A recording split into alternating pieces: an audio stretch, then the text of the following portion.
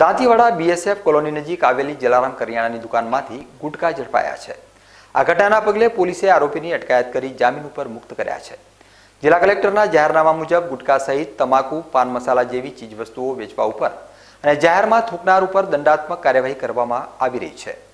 ત્યારે દાંતીવાડા ખાતે આવેલી જલારામ કરિયાણા નામની દુકાનમાં કલેક્ટરના જાહેરનામાનો ભંગ કરી શક્તિપાન મસાલા, મહેક, સિલ્વર, ગુટકા સહિતની ચીજવસ્તુઓની ગેરકાયદેસર રીતે ઊંચા ભાવે વેચાણ થતું હોવાની ફરિયાદના આધારે દાંતીવાડા પોલીસે હકીકતના આધારે તપાસ કરતા ગુટકા અને પાન મસાલાનો એક હજાર સાતસો પચાસ રૂપિયાનો કિંમતનો જથ્થો મળી આવ્યો હતો.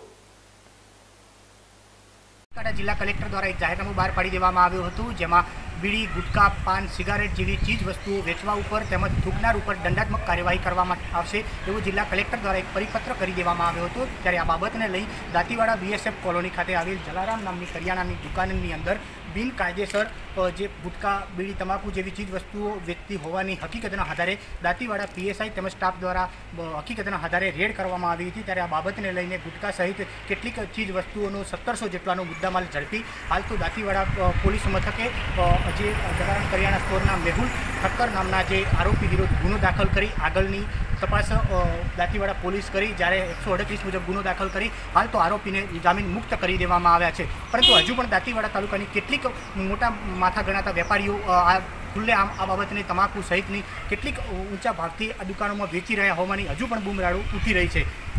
કેમેરામેન પ્રવીણ પરમારની સાથે મહેશ ચૌધરી, દાંતીવાડા.